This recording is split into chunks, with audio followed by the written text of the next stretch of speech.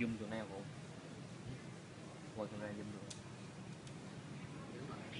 zoom zoom lên rồi à.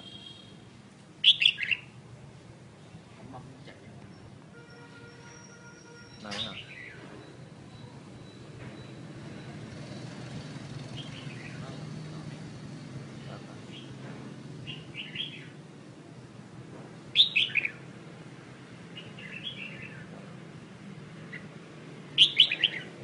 Chụp hình rồi.